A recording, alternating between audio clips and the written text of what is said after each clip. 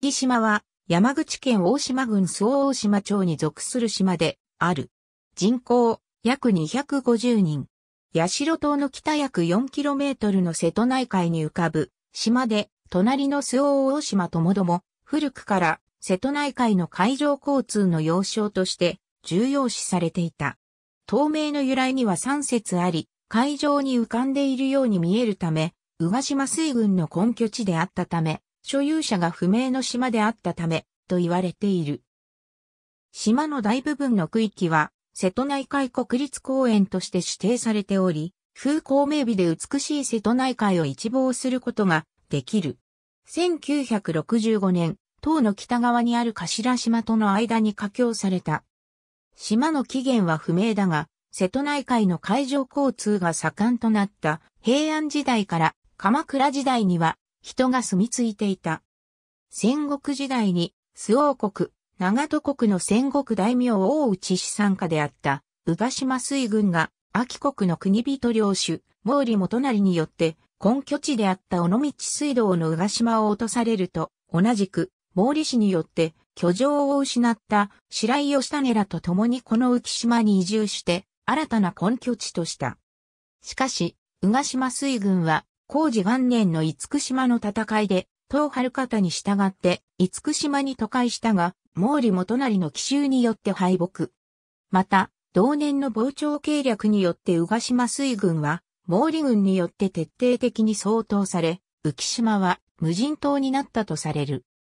昭和に入ると、浮島周辺は柱島白地として利用され、昭和18年の戦艦道の区の爆沈事故は、この島の 5km 沖合で発生した。主要産業は農業と漁業である。農業は地形が急峻で平地がほとんどないことから、田畑はなく、みかんを中心とする柑橘類で占められている。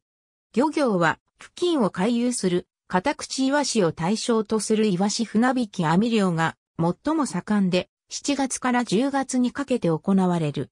また漁獲されたカタクチイワシは、浮島内にある加工場で煮干しに加工され、出荷されている。イワシ船引き網漁以外には、貝類やナマコを対象として冬季に行われる、底引き網漁や、刺し網漁、一本釣り漁などが行われている。本州との船便はなく、周防大島町微漁居との間に1日4往復の町営定期船が運行されている。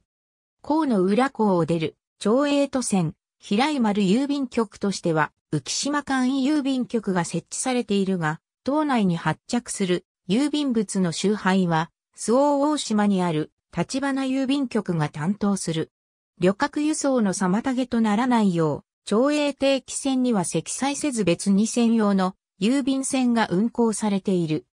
集配業務は岩国郵便局が統括する。加野和彦、地域と暮らしをポストがつなぐ郵便局は、ふれあい満載日本能率協会マネジメントセンター、2001年 P34P46。ありがとうございます。